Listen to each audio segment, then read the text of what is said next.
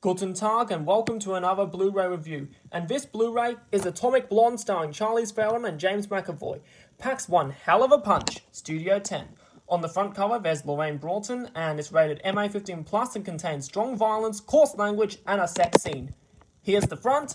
Spine, no profile picture. There's the Blu-ray logo, the title, the Universal logo, the MA rating, and the catalog number. It's BDI double three double seven. And the back. Now let's read the description. Oscar winner Charlize Theron stars as elite MI6's most lethal assassin and the crown jewel of Her Majesty's Secret Intelligence Service, Lorraine Broughton.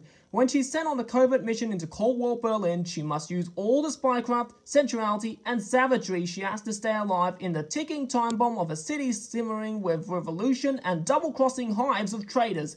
Broughton must navigate her way through a deadly game of spies to recover a priceless dossier while fighting ferocious killers along the way in this breakneck action thriller from director David Leitch, who also directed John Wick. And the bonus features are deleted scenes, Welcome to Berlin, Blonde and Morgan, Spy Master, Atomy of a Fight Scene, Story in Motion, Agent Broughton, The Chase, and feature and bonus commentary with director David Leitch.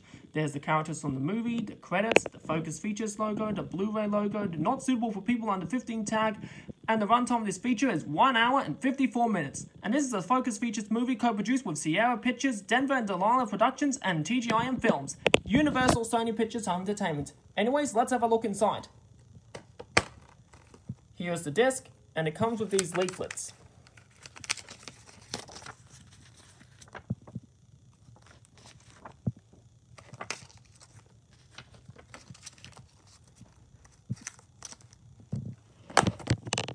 Before I finish this video, I just want to tell you that this movie had a lot of violence and swearing in it, so remember to watch your language.